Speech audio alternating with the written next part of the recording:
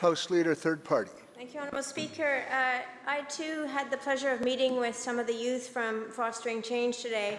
Uh, Glugwe, Adel, Jamie, Marcy, Jess, Jason, Shay, and Susan, uh, and I just spent the last hour together uh, hearing from them about their advocacy for universal comprehensive agreements with young adults and to ensure that youth uh, aging out of care have access to $1,000 in a consistent and equitable way.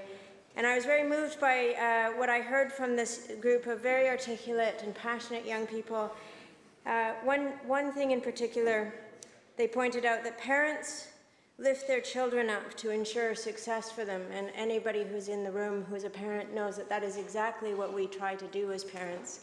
And they indicated that if the government is their parent, they want the same, lifting up to ensure that they have success from the government that, they, that all of their peers who are parented by their own parents expect from their families. Thank you.